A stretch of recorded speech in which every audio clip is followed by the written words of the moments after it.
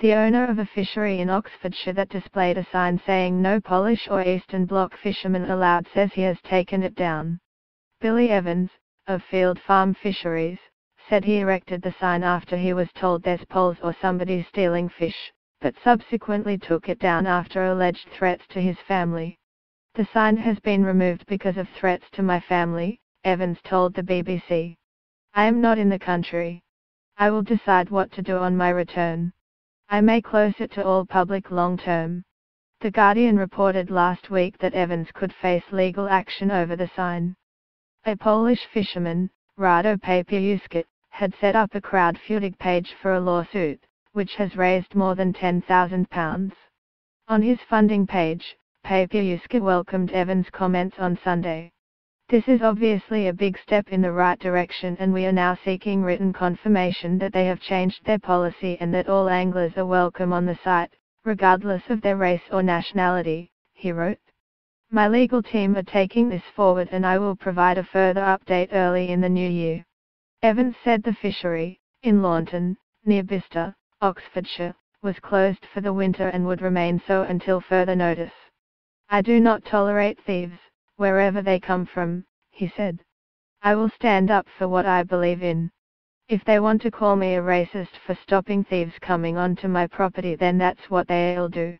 The Equality and Human Rights Commission had said the sign was unlawful and it would take enforcement action if necessary. It said it had written to the fishery to advise it to take it down. It's right to challenge such out-of-date practices and any business that believes this is acceptable should think again before they find themselves facing legal action, said a spokeswoman for the EHRC. Papiewski, 35, from Doncaster, said his fellow anglers had told him about the notice.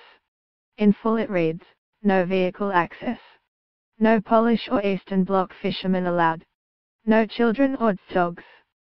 He said, when I first saw it I thought of my 10-year-old son who loves angling. How could I say to him you can't fish here because your dad was born in Poland? This disturbing sign should have never been displayed as it clearly discriminates against people from Poland and other Eastern European countries.